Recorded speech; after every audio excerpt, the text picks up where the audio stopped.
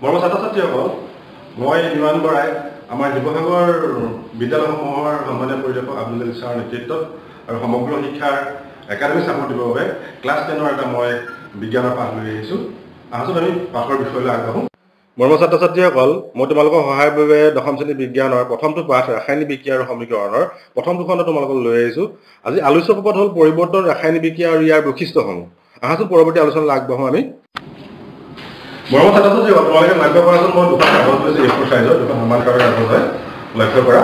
এতিয়া আমি কাগজ দুখনত দুই প্ৰকাৰে দুটা কাৰ্য কৰিম আমি তোমালোকে লক্ষ্য কৰিবা দেই। প্ৰথম কাগজখন তোমালোকে লক্ষ্য কৰিবা ইয়াত কি কৰিছোঁ ভাল দিছোঁ তোমালোকে চোৱা।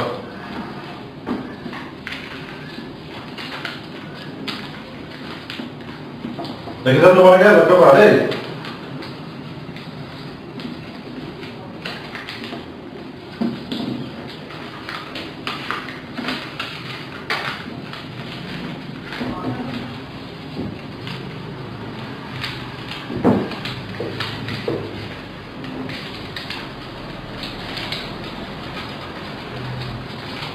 তোমালোকে এখন দেখিছা তাত কি হ'ল? এখন আমাৰ কাগজৰ এখন আমাৰ কি হ'ল? প্লেন হ'ল।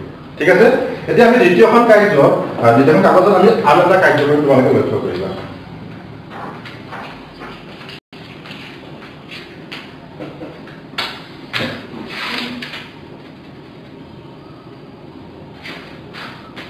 ইয়াত মই কি কৰিলো? জুচলা বাকচৰে কাঠি লৈ পিনি ইয়াক জ্বলাই দিলো।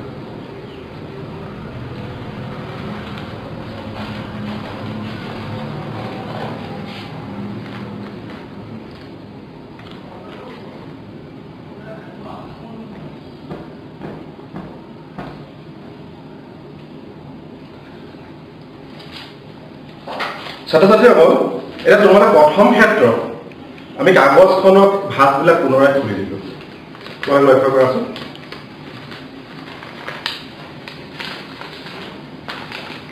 কাগজখনৰ কি হ'ল? আমি আগৰ অৱস্থা পালোঁ কিন্তু দ্বিতীয় ক্ষেত্ৰত আমি যিটো কৰিছিলোঁ কাগজখনৰ যেতিয়া আমি জ্বলাই দিলোঁ জ্বলাই যিখিনি অৱশিষ্ট পালোঁ। অৱশিষ্টখিনিৰ পৰা পুনৰ আমি আগৰ অৱস্থালৈ যাব নোৱাৰিলোঁ। এই দুইটা ক্ষেত্ৰতে আমি কাৰ্যকলাপৰ দুইটা ক্ষেত্ৰতেই আমি কি হ'ল কাগজ সমান আকাৰৰ দুখন কাগজৰ দুটা পৰিৱৰ্তন লক্ষিত পৰিলক্ষিত হৈছে হৈছেনে আজি কথাটো হ'ল এইটো কাগজখন এটা পদাৰ্থ পদাৰ্থটোৰ কি হ'ল আমি দেখিলোঁ দুই ধৰণৰ পৰিৱৰ্তন। আজি পাঠৰ বিষয়ত আমি এই দুই পৰিৱৰ্তনৰ বিষয়ে আমি বিশদভাৱে আলোচনা ছাত্ৰ ছাত্ৰীসকল আমি ইতিমধ্যে এ ফ'ৰ চাইজৰ পেপাৰ দুখন সমান আকাৰৰ চাইজৰ পেপাৰ দুখনক আমি কিয় দুটা পৰিৱৰ্তন কৰিছিলোঁ। তোমালোকে লক্ষ্য কৰিছিলা? প্ৰথমতে কি কৰিছিলোঁ প্ৰথমতে কাগজখনৰ ভাঁজ দি আমি এখন কাগজৰ এৰোপ্লেন বনাইছিলোঁ আৰু দ্বিতীয়তে কি কৰিছিলোঁ আমি কাগজখন জ্বলাই দিছিলোঁ। আমি দুইটা ক্ষেত্ৰতে দুই ধৰণৰ আমি কি হ'ল কাগজখনৰ একে আকাৰৰ কাগজ দুখনৰ দুটা পৰিৱৰ্তন আমি দেখিছিলোঁ। প্ৰথম প্ৰকাৰত কি হৈছিলে তাৰ আকৃতিটো সলনি হৈছিল তাক পুনৰ আগৰ অৱস্থালৈ ঘূৰাই আনিব পাৰিছিলোঁ। অৰ্থাৎ সেইটো হ'ল ভৌতিক পৰিৱৰ্তন। যি পৰিৱৰ্তনত পদাৰ্থৰ আকাৰ আকৃতি অৱয়বাদী পৰিৱৰ্তন হয় তেনে পৰিৱৰ্তনক কি বুলি কোৱা হয় ভৌতিক পৰিৱৰ্তন বুলি কোৱা হয়। বুজি পাইছেনে তাক ইংৰাজীত কি বুলি কয় ফিজিকেল চেঞ্জেছ বুলি কোৱা হয়। আমি উদাহৰণস্বৰূপে আমি কাগজৰ ভাঁজ দিয়া ভাঁজি বিভিন্ন আকাৰলৈ কৰা পৰিৱৰ্তন। এইটো এটা কি হ'ল ভৌতিক পৰিৱৰ্তনৰ উদাহৰণ। আকৌ বৰফ বৰফক বৰফৰ ঘনকাত আজি গলন কাৰ্যত যিটো হোৱা পৰিৱৰ্তন সেইটো এটা কি হ'ল তেতিয়াহ'লে ভৌতিক পৰিৱৰ্তনৰ উদাহৰণ। আৰু চেনী পানী যেতিয়া দ্ৰৱীভূত কৰা হয় তাৰো এটা পৰিৱৰ্তন ঘটে। সেই পৰিৱৰ্তনবিলাক কি হয় তেতিয়াহ'লে ভৌতিক পৰিৱৰ্তন। এনেধৰণৰ বহুত পৰিৱৰ্তন আছে। ছাত্ৰ ছাত্ৰীসকল কাৰ্যকলাপটো দেখা আমি আন প্ৰকাৰ পৰিৱৰ্তন হ'ল ৰাসায়নিক পৰিৱৰ্তন। ইংলিছত কোৱা হয় কি কেমিকেল চেঞ্জেছ তাক আমি সংজ্ঞাবদ্ধ কৰিছোঁ নহয়। যি পৰিৱৰ্তনত পদাৰ্থৰ আভ্যন্তৰীণ মৌলিক কণিকাসমূহৰ ৰাসায়নিক সংযুক্তিৰ সাল সলনি ঘটি বা আভ্যন্তৰীণ গঠনৰ সালনি ঘটি নতুন পদাৰ্থৰ সৃষ্টি হয় তেনে পৰিৱৰ্তনক কি বুলি কোৱা হয়? তেতিয়াহ'লে ৰাসায়নিক পৰিৱৰ্তন বুলি কোৱা হয়। উদাহৰণস্বৰূপে কাগজ জ্বলালে হোৱা পৰিৱৰ্তন গাখীৰ দৈত পৰিণত হোৱা পৰিৱৰ্তন লোট মামৰে ধৰা পৰিৱৰ্তন আদি কি হ'ল? ৰাসায়নিক পৰিৱৰ্তনৰ উদাহৰণ। আমি আৰু এটা কথা জানিব লাগিব পদাৰ্থৰ ৰাসায়নিক পৰিৱৰ্তন ঘটিলে ৰাসায়নিক বিক্ৰিয়া সংঘটিত হয়। ছাত্ৰ ছাত্ৰীসকল আমি ইতিমধ্যে আলোচনা কৰিছোঁ ৰাসায়নিক পৰিৱৰ্তন যদি ঘটে তেতিয়াকে ৰাসায়নিক বিক্ৰিয়া এটা সংঘটিত হয়।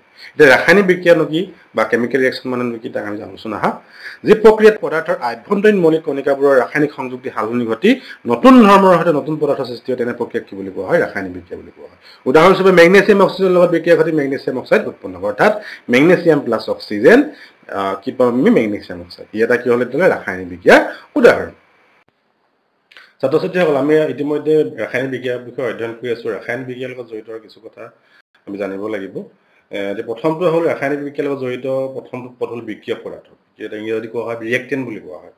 ৰাসায়নিক বিক্ৰিয়া এটা যিবোৰ ৰাসায়নিক পদাৰ্থৰ দ্বাৰা সংঘটিত হয় তেনে পদাৰ্থ কি বুলি কোৱা হয়? বিক্ৰিয়ক পদাৰ্থ বুলি কোৱা হয়। আমি যিটো উদাহৰণ লৈছিলোঁ তাত মেগনেছিয়ামৰ অক্সিজেন তেতিয়াহ'লে কি হ'ল? বিক্ৰিয়ক পদাৰ্থ। তাৰ লগত জড়িত আন এটা পদ হ'ল কি হ'ল? বিক্ৰিয়ক পদাৰ্থ। ইংৰাজীত কোৱা হয় প্ৰডাক্ট ৰাসায়নিক বিক্ৰিয়াত যিবোৰ পদাৰ্থ উৎপন্ন হয় তেনে পদাৰ্থ কি বুলি কোৱা হয় বিক্ৰিয়ক পদাৰ্থ বুলি কোৱা হয়। আমি ওপৰত যিটো উদাহৰণ লৈছিলোঁ তাত মেগনেছিয়াম অক্সাইডটো হ'ল এটা বিক্ৰিয়ক পদাৰ্থ। এতিয়া বিক্ৰিয়ক আৰু বিক্ৰিয়ক পদাৰ্থ কি তোমালোকে বুজি পালা নহয়? ছাত্ৰ ছাত্ৰীসকলে ইতিমধ্যে পৰিৱৰ্তন আৰু ৰাসায়নিক বিক্ৰিয়াৰ বিষয়ে জানিলোঁ। এতিয়া আমি আগবাঢ়ো ৰাসায়নিক বিক্ৰিয়াৰ বৈশিষ্ট্য সম্পৰ্কে জানিবলৈ। ৰাসায়নিক বিক্ৰিয়াৰ প্ৰথমটো বৈশিষ্ট্য ৰাসায়নিক বিক্ৰিয়াত গেছ উৎপত্তি হয়। তাকে জানিবলৈ আমি এতিয়া ক্ৰিয়াকলাপ ছবি সহায়ত বৰ্ণনা কৰিছোঁ তোমালোকে লক্ষ্য কৰিবা। ইয়াত আমি কি কৰিছা টেষ্ট টিউব লৈছোঁ। টেষ্ট টিউবৰ খোলা মূৰটো কি কৰা হৈছে? টেষ্ট টিউবত আমি জিংকৰ গুৰিয়া চাল লঘু চালফিক এচিড দি পিনি খোলা মূৰটো ককৰ সহায়ত বন্ধ কৰি দিছোঁ। আৰু বন্ধ ককত ফুটা উলিয়াই এটা নিৰ্গমন নলী লগাই দিছোঁ। নিৰ্গমন নলী লগাই পিনি কি কৰা হৈছে? চাবোন পানী ভৰ্তি পাত্ৰলৈ যাবলৈ দিয়া হৈছে। এতিয়া আমি কি দেখিম? নিৰ্গমন নলীৰ মূৰত চাবোনৰ পানী ফেনৰ কিছুমান বুট বুট সৃষ্টি হ'ব। সেই বুট বুটবোৰৰ কাষলৈ যদি জ্বলি থকা মমডাল লৈ অনা হয় বুট বুট ফট ফটকৈ ফুটিব এটা সময়ত কি হ'ব? মমডাল নোহোৱা পেলাব অৰ্থাৎ এই বিক্ৰিয়াটোত মানে জিংক আৰু ছালফিক এচিড বিক্ৰিয়াটোত কি হৈছে? এবিধ গেছ উৎপত্তি হৈছে। গেছবিধে কি কৰিছে? আমাৰ জ্বলি থকা মমডাল নোহোৱাত সহায় কৰিছে। অৰ্থাৎ বিক্ৰিয়াটো এনেধৰণৰ zinc plus sulphuric acid zinc sulphate plus hydrogen gas এবাৰ গম পালোঁ ৰাসায়নিক বিক্ৰিয়াত কি উৎপত্তি হয়? গেছ উৎপত্তি হয়। ছাত্ৰ ছাত্ৰীসকল ৰাসায়নিক বিজ্ঞান আন এটা বৈশিষ্ট্য হ'ল ৰাসায়নিক বিজ্ঞান অধক্ষেপ সৃষ্টি হয়। উদাহৰণস্বৰূপে লঘু ছালফ্ৰিক এচিডৰ লগত যদি বেৰিয়াম ক্লৰাইড বিক্ৰিয়া কৰিবলৈ দিয়া হয় বেৰিয়াম ছালফেটৰ অধক্ষেপ সৃষ্টি হয়। ৰাসায়নিক বিজ্ঞান হ'ব এনেধৰণৰ বেৰিয়াম ক্লৰাইড প্লাছ লঘু ছালফ্ৰিক এচিড তেতিয়া কি উৎপন্ন হ'ব? বেৰিয়াম ছালফেটৰ অধক্ষেপ পৰিব লগতে কি উৎপন্ন হ'ব? হাইড্ৰক্লৰিক এচিড উৎপন্ন হ'ব। আৰু ৰাসায়নিক বিজ্ঞান আন এটা বৈশিষ্ট্য হ'ল ৰাসায়নিক বিজ্ঞান ৰঙৰ পৰিৱৰ্তন ঘটে। তাকে বুজিবলৈ আমি উদাহৰণ লৈছোঁ আহা। কপাৰ ছালফেট কপাৰ ছালফেটৰ ৰংটো কিমান? নীলা। তাৰ লগত যদি আইৰণৰ বিক্ৰিয়া কৰিবলৈ দিয়া হয় সেউজীয়া ফেৰাছ ছালফেট লগতে কি হ'ব? কপাৰ উৎপন্ন হ'ব। এতিয়া নীলা ৰংটো কিহলৈ ৰূপান্তৰিত হৈছে? সেউজীয়ালৈ ৰূপান্তৰিত হৈছে। এইটো এটা ৰাসায়নিক বিক্ৰিয়াৰ ৰঙৰ পৰিৱৰ্তনৰ এটা উদাহৰণ। ছাত্ৰ ছাত্ৰীসকল আমি আৰু এটা ৰাসায়নিক বিক্ৰিয়া বৈশিষ্ট্যৰ বিষয়ে আলোচনা কৰিছোঁ না ৰাসায়নিক বিক্ৰিয়াত কি হয়? উষ্ণতাৰ পৰিৱৰ্তন ঘটে। উদাহৰণস্বৰূপে আমি কি ঘৰত ঘটি থকা এটা উদাহৰণৰ কথা আমি লওঁ। গোটা চূণ গোটা চূণত যেতিয়া পানী দিয়া তাত কি হয়? তাপ উৎপন্ন হয়। তোমালোকে দেখিছা বক বককৈ পানীটো উতলি যায়। অৰ্থাৎ গোটা চূণটোৰ সংকেতটো কি হ'ব? Calcium oxide. আৰু পানীৰ লগত যেতিয়া বিক্ৰিয়া কৰিব হিঠিল যোন উৎপন্ন অৰ্থাৎ কেলছিয়াম হাইড্ৰক্সাইড উৎপন্ন হয় লগতে তাপ উৎপন্ন হয়। সেইটো এটা কি হ'ল? তেতিয়াহ'লে ৰাসায়নিক বিক্ৰিয়াত যে উষ্ণতা পৰিৱৰ্তন ঘটে তাৰ এটা উদাহৰণ। ৰাসায়নিক বিক্ৰিয়া আন এটা বৈশিষ্ট্য হ'ল ৰাসায়নিক বিক্ৰিয়াতে পদাৰ্থৰ অৱস্থাৰ পৰিৱৰ্তন ঘটে। সেইটো আমি ঘৰত দেখি থাকোঁ সাধাৰণভাৱে মমৰ দহন। মমৰ দহনত কি হ'ল কঠিন মমডাল কি হ'ল ৰূপান্তৰিত? তৰলৈ ৰূপান্তৰিত হয়। আৰু তৰলৰ পৰা কি হ'লে? গেছলৈ পৰিৱৰ্তিত হয়। এইটো এটা কি হ'ল? তেতিয়াহ'লে ৰাসায়নিক বিক্ৰিয়াৰ অৱস্থাৰ পৰিৱৰ্তনৰ এটা উদাহৰণ। ছাত্ৰ ছাত্ৰীসকল মই তোমালোকৰ লগত পাঠটোৰ যিকেইটা বিষয় আলোচনা কৰিছিলোঁ তাক পুনৰাই থুলমূলভাৱে তোমালোকক সংক্ষেপে ক'ব বিচাৰিছোঁ তোমালোকে মন কৰিবাচোন। প্ৰথম কথা হ'ল পদাৰ্থৰ পৰিৱৰ্তন দুই ধৰণে হয়। ভৌতিক পৰিৱৰ্তন আৰু কি হয়? ৰাসায়নিক পৰিৱৰ্তন। যি পৰিৱৰ্তন পদাৰ্থৰ আকাৰ আকৃতি অৱস্থা বা অৱয়ৱৰ পৰিৱৰ্তন হয় তেনে পৰিৱৰ্তন কি বুলি কোৱা হয়? ভৌতিক পৰিৱৰ্তন বুলি কোৱা হয়। আৰু যি পৰিৱৰ্তন পদাৰ্থৰ আভ্যন্তৰীণ মৌলিক কণিকাবিলাকৰ পৰিৱৰ্তনৰ লগে লগে তাৰ ৰাসায়নিক সংযুক্তি সালনি ঘটি নতুন পদাৰ্থৰ সৃষ্টি হয় তেনে পৰিৱৰ্তন কি বুলি কোৱা হয়? ৰাসায়নিক পৰিৱৰ্তন বুলি কোৱা হয়।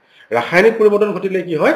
ৰাসায়নিক বিক্ৰিয়া সংঘটিত হয়। অৰ্থাৎ যি প্ৰক্ৰিয়াত পদাৰ্থৰ আভ্যন্তৰীণ মৌলিক কণিকাসমূহৰ ৰাসায়নিক সংযুক্তি সালনি ঘটি নতুন ধৰ্মৰ সৈতে নতুন পদাৰ্থৰ সৃষ্টি হয় তেনে প্ৰক্ৰিয়াক কি বুলি কোৱা হয়? ৰাসায়নিক বিক্ৰিয়া বুলি কোৱা হয়। ৰাসায়নিক বিক্ৰিয়াৰ বৈশিষ্ট্যময় এনেকুৱা। ৰাসায়নিক বিক্ৰিয়াত গেছ উৎপত্তি হয় আৰু কি হয়? অধক্ষেপ সৃষ্টি হয়। ৰঙৰ পৰিৱৰ্তন হয় উষ্ণতাৰ বৃদ্ধিৰ পৰিৱৰ্তন ঘটে আৰু পদাৰ্থৰ অৱস্থাৰ পৰিৱৰ্তন ঘটে। এইখিনি কথাকে আমি আলোচনা কৰিছিলোঁ। মোৰ ছাত্ৰ ছাত্ৰীসকল তোমালোকে ইমান সময় ভিডিঅ' পাঠটো চালা চাই কিমান বোধগমতা অৰ্জন কৰিলে তাকে জানিব পৰা সৰু সৰু প্ৰশ্ন তোমালোকৰ কাৰণে মই লৈ আহিছোঁ কৰিবলৈ যত্ন কৰিবা। প্ৰথমটো প্ৰশ্ন হ'ল পদাৰ্থৰ পৰিৱৰ্তন কেই প্ৰকাৰ আৰু কি কি? প্ৰত্যেকৰ উদাহৰণ সংজ্ঞা দিয়ে। দ্বিতীয়টো হ'ল ৰাসায়নিক বিক্ৰিয়া বুলিলে কি বুজা? উদাহৰণ দিয়া। তৃতীয়টো হ'ল কি? ৰাসায়নিক বিক্ৰিয়া বৈশিষ্ট্যবোৰ উল্লেখ কৰা আৰু প্ৰত্যেকৰ উদাহৰণ দিয়া। মোৰ ছাত্ৰ ছাত্ৰীসকল ইমান সময় তোমালোকে মোৰ ভিডিঅ' পাঠটো চোৱাৰ বাবে ধন্যবাদ থাকিল। আজিলৈ পাঠটো মই ইমানতে সামৰণি মাৰিছোঁ।